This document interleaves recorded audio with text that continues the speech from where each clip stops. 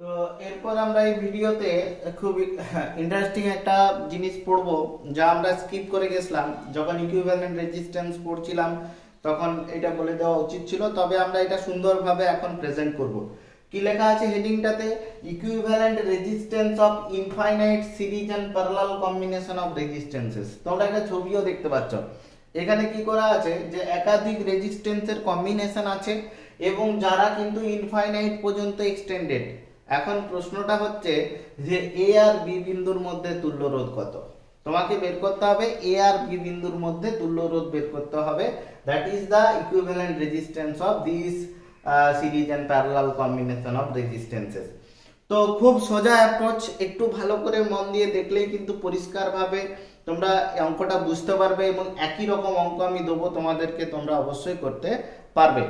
তো প্রথমে আমি একটা জিনিস বলে এখান থেকে শুরু করব যে, ধরো সমুদ্র তো মানে কি বলব, অসীম জলরাশির, অসীম পরিমাণ জলরাশির ভান্ডার সেখান থেকে তুমি যদি এক বালতি বা এক গ্লাস জল তুলে নাও, তাতে করে কিন্তু জলের পরিমাণের কোনো পরিবর্তন হবে না। তো অসীমকে অসীমেই থাকবে। সেই রকম তুমি এই সার্কিটটায় দেখতে পাচ্ছ রিপিটেটিভ একটা প্যাটার্ন আছে। ঠিক আছে? এই যে দেখো এল সেকশন প্যাটার্ন আমার আঙুলটা দিকে দেখো এল সেকশন এটাও এল এটাও এল এটাও এল এটাও এল এই যে প্যাটার্নটা সেটা রিপিটেটিভ পর পর পর পর আছে এবং শেষ হবে না, এটা অসীম পর্যন্ত চলে যাবে। তো তোমার কি মনে হয়, এই মানে সার্কিটটার ইকুইভ্যালেন্ট রেজিস্ট্যান্স কি অসীম হবে? কোনোদিনই না। দেখতে থাকো কীভাবে হবে। তো যেটা বলছিলাম আর কি, যে আমি যদি সমুদ্র থেকে এক গ্লাস জল তুলে নিই, তাতে করে সমুদ্রের জলের কোনো পরিবর্তন হবে না। তো তাই সেই একই অ্যাপ্রোচে আমি এখানে সেই কথাটি লাগাবো। আমি যদি এই টোটাল সার্কিটটা থেকে আমি এই সেকশনটা এই সেকশনটা কেটে বাদ দিয়ে দিই, যে যেটা লাইন দিলাম, সেই সেকশনটা বাদ দিয়ে দিই মানে আমি কতটা বাদ দিচ্ছি? আমি অসীমটাকেই তো বাদ দিচ্ছি, তাই না? আমি তো অসীমটাকেই বাদ দিচ্ছি। আমি যদি এইটুকু পোর্শনটা রাখি আমার হাতে আর বাকি পোর্শনটা কেটে বাদ দিই মানে আমি কতটা বাদ দিচ্ছি? আমি সেই তো অসীমটাকেই বাদ দিচ্ছি। মানে ওইটা কথাটার সঙ্গে মিললো না? আমি এক গ্লাস জল তুলে নিলাম, বাকিটা কত রইল? অসীমকে অসীমেই রইল। তো কেন এমনটা বলছি তোমরা দেখতে পাবে? তো প্রথমে এই জাতীয় অঙ্কে ধরে নিতে হবে, মনে করি। এ ও বি বিন্দুর মধ্যে তুল্য রোধ সমান ক্যাপিটাল আর এটা আমরা ধরে নিলাম, যেটা আমাকে বের করতে হবে। তো এখন আমি এই বর্তনীটাকে কি লিখতে পারি দেখো তো? এই বর্তনীটা এরকম লেখা যায় কিনা আমাকে শুধু বলবে। এটা এ ছিল, এটা বি ছিল, এটা আর ছিল, এটা আর ছিল। যেটুকুটা কেটে বাদ দিয়েছি, আমরা এই পোর্শনটা কেটে বাদ দিয়ে দিয়েছি তো। ঠিক আছে? এই যে লাইনটা দিয়ে আমরা কি করলাম? এই পোর্শনটা কেটে বাদ দিয়েছি। তো যেটা বাদ দিয়েছি সেটা কি? সেটাও তো অসীম শ্রেণির বর্তনীটাই ছিল। তো যেটা বাদ দিয়েছি, তার বদলে আমি ক্যাপিটাল আর লাগিয়ে দিচ্ছি। কেন? না স্যার ক্যাপিটাল আরটাই তো ধরেছেন অসীম শ্রেণির বর্তনীর তুল্য রোধ ইজ ইট ক্লিয়ার তার মানে স্যার, এই জাতীয় অঙ্কে কি করতে হবে? প্রথম সেকশনটা যেটা রিপিটেটিভ সেটা রেখে বাকিটা বাদ দিয়ে তার বদলে ইকুইভ্যালেন্ট রেজিস্ট্যান্স ক্যাপিটাল আরটা বসিয়ে দেওয়া। কিছুই না, এরপরে খুবই সোজা হয়ে গেল। তুমি বলো, এখন এ আর বি বিন্দুর মধ্যে তুল্য রোধ কি হবে? এই দুটো কি হবে? সমান্তরাল। দেখতেই পাওয়া যাচ্ছে এই দুটো সমান্তরাল। তার সঙ্গে কি হবে? এই আটটা শ্রেণি। তাহলে আমি লিখতে পারি এ ও বি বিন্দুর মধ্যে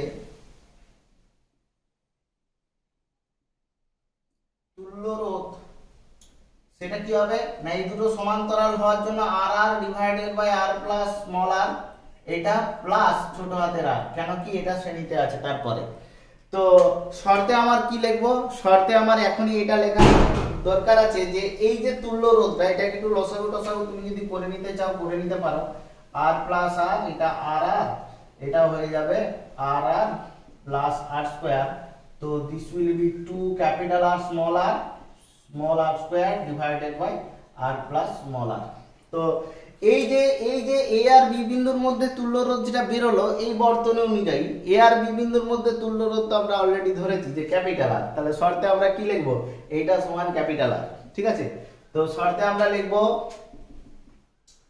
শর্তে আমরা যেটা পেলাম এই যে two R R plus small R square divided by R plus ছোট হাতের আর সমান হচ্ছে ক্যাপিটাল আর এখন কাজ হচ্ছে, এবারে কড়াকড়ি গুণ করে একটা দ্বিঘাত সমীকরণ আসবে, সেই দ্বিঘাত সমীকরণের সমাধান করা। তো আমি সেটা করে দেখাচ্ছি, এটা ইরেজ করছি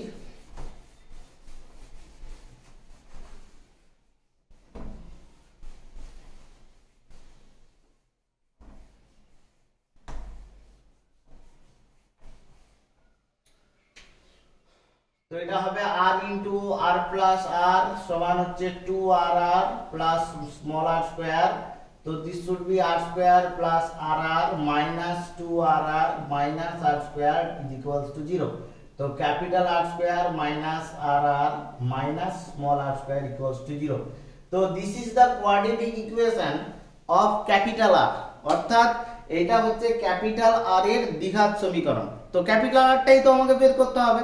তো এই দ্বিঘাত সমীকরণের সমাধান আমরা শ্রীধর আচার্য লাগিয়ে দেবো। তাহলেই হবে। তো শ্রীধর আচার্য ক্যাপিটাল আর সমান কি হবে? সমাধান করছি। Minus B plus minus under root B square minus B square minus B বলতে এই যে স্মল আরটা বি মতো কাজ করছে। আচ্ছা তোমরা যদি না বুঝতে পারো, এটা তোমরা তুলনা করো A X square plus B X plus C সমান জিরো এর সঙ্গে তুলনা করো। এ সমান তুমি এক পাবে বি সমান তুমি মাইনাস আর পাবে এবং সি সমান তুমি মাইনাস আর স্কোয়ার পাচ্ছ। তাই না? ক্যাপিটাল আর তো দ্বিঘাত সমীকরণ। তাহলে এগুলো, এই ছোট হাতের আরগুলো সব সহগ হিসাবে কাজ করবে আর কি। তো এটা তাহলে তোমার কত হয়ে যাবে? তাহলে তুমি যদি সমাধান করো, তাহলে ক্যাপিটাল আর সমান হয়ে যাবে মাইনাস বি মানে plus small R plus minus root under B square minus four into A into C C মানে মাইনাস আর স্কোয়ার মানে প্লাস হয়ে যাবে ঠিক আছে বাই টু এ এ বলতে ওয়ান ঠিক আছে তো this should be 5 capital R square by 2 so this should be R plus minus R root 5 by 2 so this should be R 1 plus minus root 5 by 2 তো এখানে মাইনাস সাইনটা নিয়ে চলবে না। Neglecting the negative sign negative sign দিলে কি হবে? রেজিস্ট্যান্সটা negative হবে। কেন কি রুট ফাইভটা বড়? তুমি যদি ওয়ান মাইনাস রুট ফাইভ নাও, তাহলে নেগেটিভ হয়ে যাবে। ঠিক আছে? ওয়ানের থেকে রুট ফাইভটা বড়। তো ওয়ান মাইনাস রুট ফাইভ করলে নেগেটিভ হয়ে যাবে। যে কারণে নেগেটিভ সাইনটা নেবে না। তাহলে টেকিং অনলি পজিটিভ সাইন এখানে লিখছি উপরে taking only positive sign taking only positive sign, we get capital R সমান কি হলো? R 1 plus root 5 by 2 তো এটা তুমি যদি করো, এটা 1.62 R হবে। তো এই গেল equivalent resistance of infinite series and parallel combination of circuit resistances তো ইন দ্য সেম ওয়ে আমরা আরেকটাও করে দিতে পারব। তার আগে আমি তোমাদেরকে নিজেরা যাতে করতে পারো, একটা আমরা উদাহরণ দিয়ে দিচ্ছি বোর্ডে। তো একই রকম ভাবে আমরা আরেকটাও করব।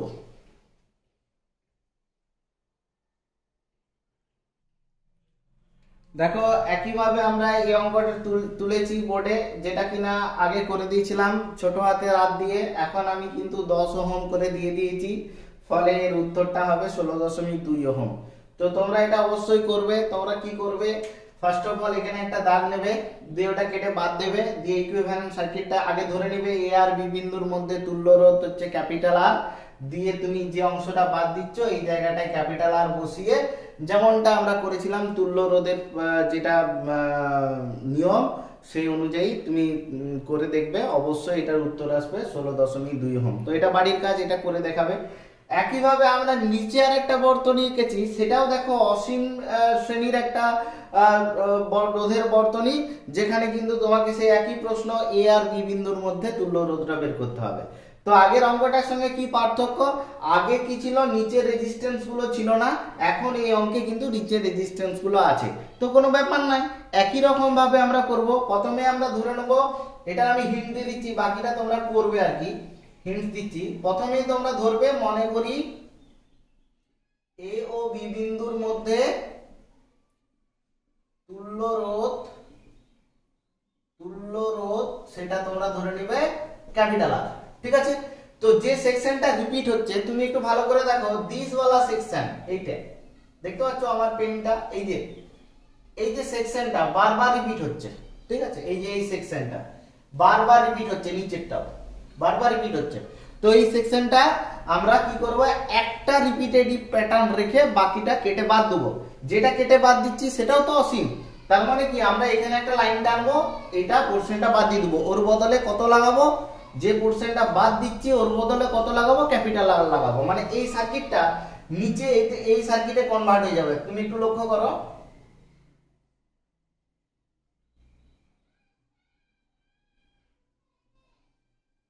এটা তো রিপিটেটিভ প্যাটার্ন তাহলে যেটা কেটে বাদ দেওয়া হলো, তার বদলে আমরা কি লাগাবো? না, সেটাও তো অসীম শ্রেণির বর্তনী। যার কিনা তুল্য রোধ আমরা ক্যাপিটাল আর ধরেছি, তো তার জায়গায় আমরা ক্যাপিটাল আর বসিয়ে দিচ্ছি। ঠিক আছে? তো আগে এই রোধটা ছিল না, এখন এই রোধটা এসছে আর কি। কিছু ব্যাপার নাই নিয়ম একই। এ বি বিন্দুর এ ও বি বিন্দুর মধ্যে তুল্য রোধ এখন কি হবে? না, স্যার, এই দুটো সমান্তরাল। ঠিক আছে? এই দুটো সমান্তরাল হলে কি হবে? না একটু করে দিই।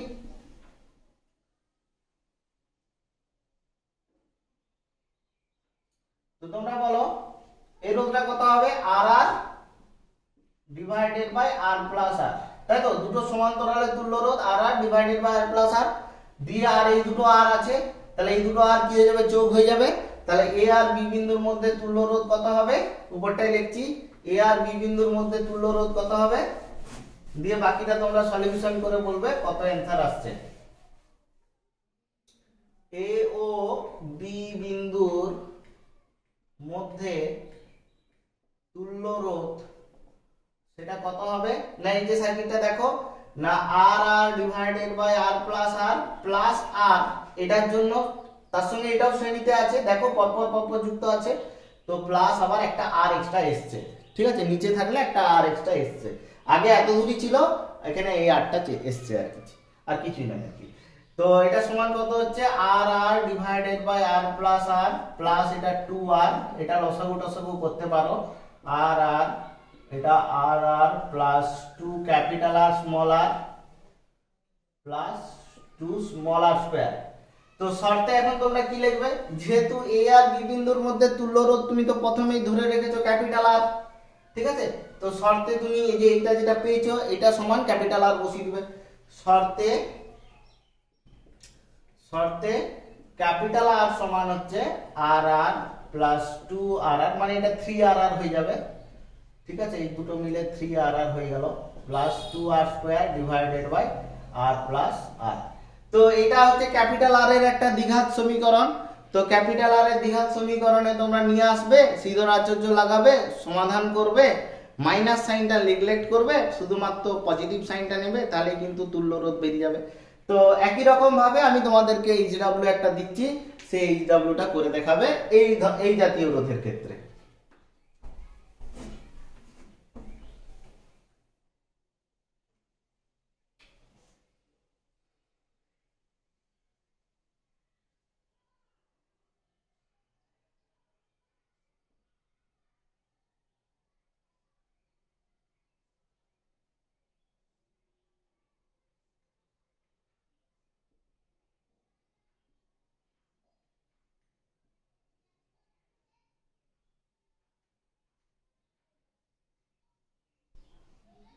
তো এগুলো আমরা পাঁচ ওহম করে দিচ্ছি, এটা এ বিন্দু, এটা বি বিন্দু, পাঁচ ওহম করে সব দিচ্ছি। তো তোমরা তুল্য রোধ কত হচ্ছে আমাকে বের করে দেখাবে। সবগুলো সবগুলোই হচ্ছে পাঁচ ওহম করে। ঠিক আছে? তুল্য রোধ কত হচ্ছে তুমি আমাকে বের করে দেখাবে। ঠিক আছে? এটাও তোমার এইচ ডাব্লিউ রইল। এ আর বি বিন্দুর মধ্যে তুল্য রোধ বের করে দেখাবে। ইন দ্য সেম ওয়ে ঠিক আছে? তো এর পরের আমরা যে টপিকটা পড়ব, যে কোষের মিশ্র সমবায়ের ক্ষেত্রে এই ছোট একটু টপিক আমরা ছেড়েছিলাম, যেটা দিয়ে তোমার একত্রিশের দাগের না একটা অঙ্ক বাকি ছিল, সেটা ছেড়ে আমি অঙ্কটা দিয়েছিলাম। তো সেই টপিকটা পড়িয়ে ওই অঙ্কটাও আমি করে দেবো, একই রকম অঙ্ক তোমাকে বাড়িতে করতে দেবো।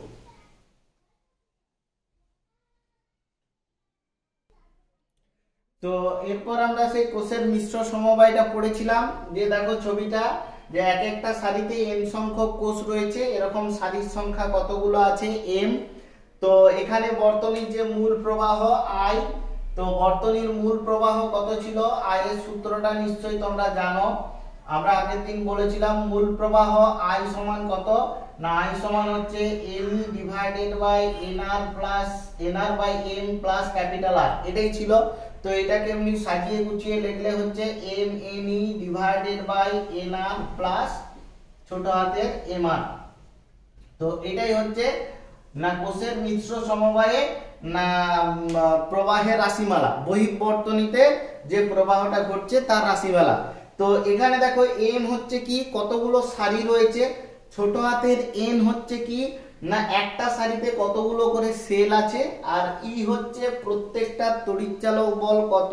ই আর ছোট হাতের আর হচ্ছে প্রতিটা কোষের অভ্যন্তরীণ রোধ, আর ক্যাপিটাল আর হচ্ছে বহির্বর্তনীর রোধ, ঠিক আছে? তো এখন আমাকে যেটা বের করতে হবে, যে বহির্বর্তনীতে সর্বোচ্চ প্রবাহ পাবো, সেই সর্বোচ্চ প্রবাহ পাওয়ার শর্তটা কি? তো একটা বিশেষ শর্তেই তুমি সর্বোচ্চ প্রবাহ পাবে, অর্থাৎ সেলগুলোকে তুমি এমনভাবে অ্যারেঞ্জ করবে, এমনভাবে লাগাবে, এমনভাবে যুক্ত করবে, যার জন্য বহির্বর্তনীতে তুমি সর্বোচ্চ প্রবাহ পাবে। তো সেটার জন্য একটা ম্যাথামেটিক্যাল ডেরিভেশন আছে, তো সেই ম্যাথামেটিক্যাল ডেরিভেশন নোটসও করা আছে, তো আমরা এখানে করিয়ে বুঝিয়ে একটা অঙ্ক করে দেবো এবং একই রকম অঙ্ক তোমরা একটা করে আমাকে দেখাবে। তো আমরা এখন যেটা করব, এই মূল প্রবাহটা সর্বোচ্চ হওয়ার শর্ত দেখো, মূল প্রবাহ আই সমান কি পেয়েছি? M N E divided by N R plus N capital R ঠিক আছে? তো এরপরে আমরা এটা লিখছি এম এন ই এটা এরকম লিখতে পারি রুট আন্ডার এন আর তার square plus root under M R তার স্কোয়ার ঠিক আছে? এটা লিখতেই পারি। তো এটা A square plus B square এটা আমরা এইভাবে সূত্রটাকে প্রকাশ করব M N E divide divided by N R minus root under M R মানে এ মাইনাস বি তার whole square plus four A B sorry two A B না কত হবে? হ্যাঁ two AB root under N R two M আর একটু check করে নিবে A square plus B square সমান। স্কোয়ার প্লাস স্কোয়ার সমান A minus B whole square plus two A B. এই সূত্রটা আমরা ব্যবহার করলাম। তো একটু ভালো করে দেখো, এই যে তোমার রাশিমালাটাকে আমি প্রকাশ করলাম, এই রাশিমালাটা আয়ের মান সর্বোচ্চ হবে। I will be maximum if the denominator is minimum অর্থাৎ হরটা যদি সর্বনিম্ন হয়, তবেই তোমার আয়টা সর্বোচ্চ হবে। তাহলে হরটা সর্বনিম্ন হতে গেলে আমার এই স্কোয়ারওয়ালা টার্মটাকে আমি জিরো করতে পারি। তো সো রুট আন্ডার সর্বোচ্চ প্রবাহের জন্য আমরা লিখব সর্বোচ্চ প্রবাহের জন্য, সর্বোচ্চ প্রবাহের জন্য আই উইল বি ম্যাক্সিমাম তখন আমরা কি করব? না root under N R minus root under M R এটা সমান জিরো করব। তার মানে আমি পাবো রুট আন্ডার এম আর সমান রুট আন্ডার এন আর তো আমি যেটা পাবো এম আর সমান না এন আর তো ক্যাপিটাল আর সমান কি হবে? এন আর বাই এম ঠিক আছে?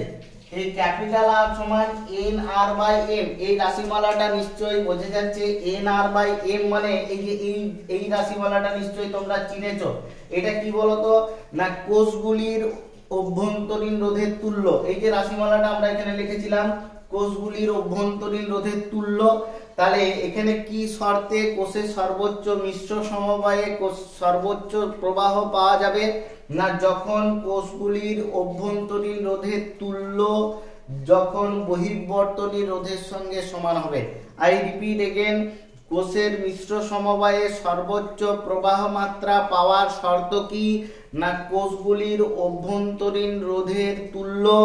অভ্যন্তরীণ রোধের তুল্য N R divided by M এটা যখন বহির্বর্তনীর রোধ ক্যাপিটাল আর এর সঙ্গে সমান হবে, তখনই তুমি কোষের মিশ্র সমবায় থেকে সর্বোচ্চ প্রবাহ পাবে। তো এই সূত্রটাকে আমরা ব্যবহার করে নিতে পারি সর্বোচ্চ প্রবাহ মাত্রা বের করার ক্ষেত্রে। আমরা যে রাশিমালাটা পেয়েছিলাম আই সমান E divided by R plus R এই রাশিমালাটাতে আমরা কিন্তু এই শর্তটা বসিয়ে দিলেই আমরা আই ম্যাক্সটা পেয়ে যাব, অর্থাৎ সর্বোচ্চ প্রবাহ পেয়ে যাব। তো আমরা এখানে আই ম্যাক্স কত হচ্ছে সেটা আমরা পরিষ্কার করে লিখব। তাহলে অতএব আই ম্যাক্স আই ম্যাক্স সমান কত হবে? না M N E M N E ঠিক আছে? এম এন ই আচ্ছা এন আর এর জায়গায় আমি এম আর বসিয়ে দিলাম প্লাস এম আর কেন? না আমার এন আর সমান তো এম আর সর্বোচ্চ প্রবাহের জন্য। তো আমরা বসিয়ে দিলাম, উল্টোটাও কেউ বসাতে পারে। তো এখানে হয়ে যাবে, ঠিক আছে? টু এম আর তো এখানে এটা হয়ে যাবে M E by two R এটাও হয়ে যাবে। আই ম্যাক্স এর রাশিমালা। অথবা কেউ কিন্তু উল্টোটাও বসাতে পারে। অর আই ম্যাক্স সমান বসালে কি হবে জানো? এটা হচ্ছে M E divided by M E divided by এটা হয়ে যাবে টু ছোট হাতের আর ঠিক আছে? তো এইভাবেও তুমি আই ম্যাক্সটা পেতে পারো। তো একটা অঙ্ক করার মাধ্যমে আমরা এই জিনিসটার অ্যাপ্লিকেশনটা কি? তো আমরা একটা অঙ্ক করার মাধ্যমে বুঝে যাব।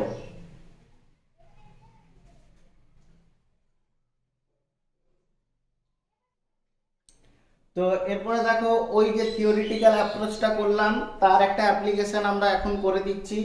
বলছে ছয় ওহম রোধে তড়িৎ প্রবাহ পাঠানোর জন্য ওয়ান পয়েন্ট ফাইভ ভোল্ট এবং দুই ওহম অভ্যন্তরীণ রোধ বিশিষ্ট আটচল্লিশটি সদৃশ কোষ আছে। সদৃশ কোষ আছে।